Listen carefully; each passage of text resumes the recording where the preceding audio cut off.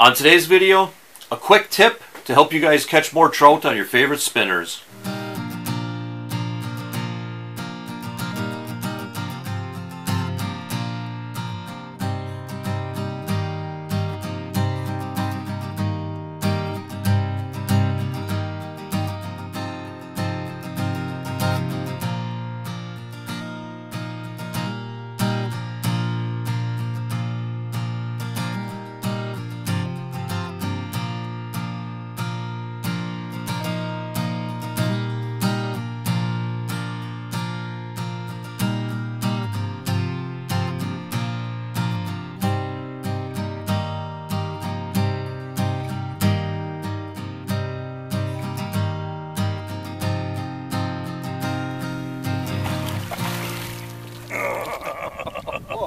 Hey there outdoor YouTubers, it's Dave Knetter from Knetter's Practical Outdoors.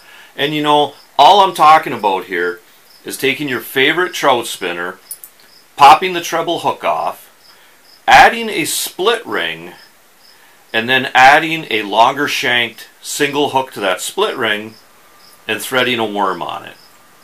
Now, I usually use a slow death hook for the hooks that I put on these, and there's a couple reasons.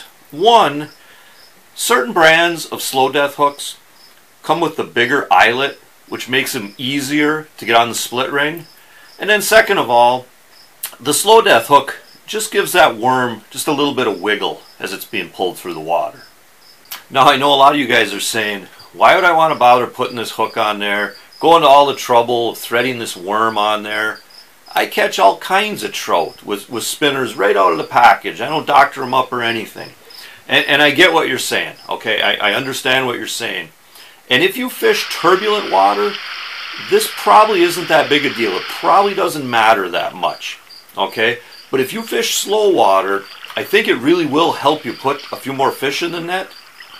And I say this because, you know, I've noticed over the years, you know, even uh, thinking back to when I was a little kid, pitching spinners uh, for trout in slower moving water, you'd get a lot of follow-ups. You know, a lot of follow-ups that would never even hit your spinner. Or if they would hit your spinner, they'd kind of come up and they'd peck it and turn and peel off. And, and a lot of times you're not hooking these fish. They just didn't seem like they were fully committed to trying to eat that spinner, and, and especially so in the slower moving water. And that's where adding that worm to the back of the spinner gives it more of that look, smell, and taste of something that they would normally eat. You know, it's the same principle with walleyes and crawler harnesses. That spinner attracts the fish from a distance away, and as the fish gets closer and closer, maybe that spinner looks less and less like something they would normally eat, but then boom, there's that crawler, and it smells right, and it tastes right, and it looks right, and oftentimes that's what seals the deal. Well, it's the same thing when you're adding that worm to the back of your trout spinners. Now, like I said earlier, if you guys are fishing turbulent water, you know, adding the worm to the back of your spinner might not matter that much, right? Trout that live in turbulent water, they have a lot less time to make decisions. They just can't see as well in that turbulent water. And I think they can be fooled a little easier.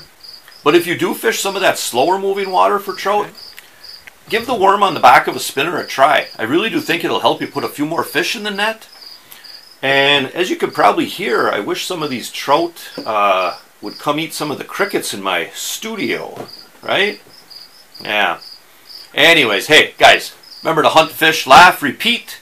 This is Dave Knetter from Knetter's Practical Outdoors. Hey, thanks for watching and God bless.